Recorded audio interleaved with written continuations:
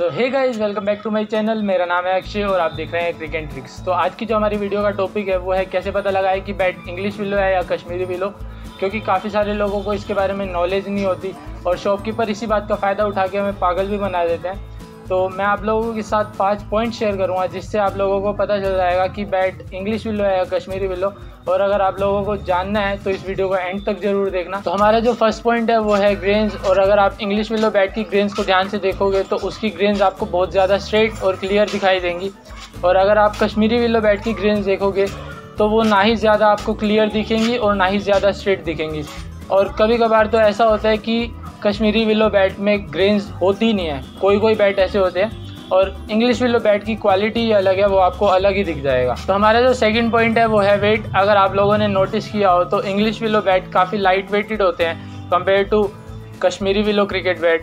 जैसे अगर आप लोग एक इंग्लिश विलो बैट लेते हो और उसका एज है फोर्टी फाइव एम का तो वो बैट का वेट आपको पड़ेगा 1160 ग्राम्स टू 1180 ग्राम्स और अगर यही चीज़ आप कश्मीरी विलो बैट में लेते हो तो उसका वेट आपको पड़ेगा 1300 ग्राम्स के आसपास। तो हमारा जो थर्ड पॉइंट है, वो है कलर ऑफ़ विलो तो जो कश्मीरी विलो बैट की वुड होती है, वो आपको रेड और ब्राउन कलर में दिखेगी।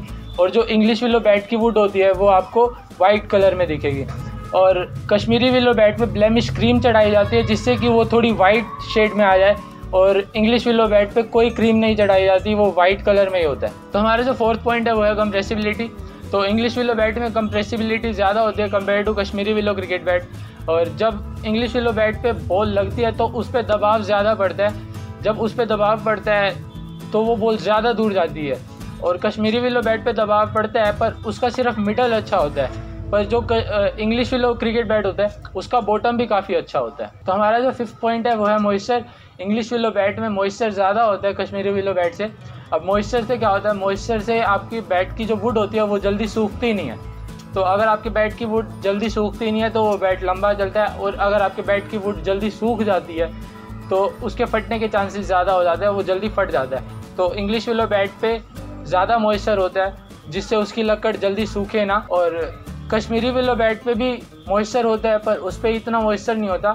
तो जब भी अगर आप वैसे कश्मीरी विलो क्रिकेट बैट ले रहे हो तो एक चीज़ का ध्यान रखना कि उसको ज़्यादा धूप में मत रखना, क्योंकि अगर आप धूप में चाहे वो इंग्लिश विलो बैट हो चाहे कश्मीरी विलो बैट हो अगर आप उस बैट को धूप में रखते हो तो उससे उसका मॉइस्चर चला जाएगा और उसकी लकड़ सूख जाएगी तो वो बैट जल्दी फट जाएगा। तो ये चीज़ ध्यान रखना। तो यार, ये थे मेरे पाँच पॉइंट जिससे आपको पता लग सके कि बैट इंग्लिश विलो है या कश्मीरी विलो आई होप ये वीडियो आपको अच्छी लगी होगी और इस वीडियो से आपको हेल्प मिली होगी। और अगर आपको ये वीडियो अच्छी लगी हो तो इस वीडियो को लाइक कमेंट शेयर और चैनल को सब्सक्राइब कर देना। मैं मिलता हूँ आपको अगली वीडियो में। तब तक के लिए गुड बाय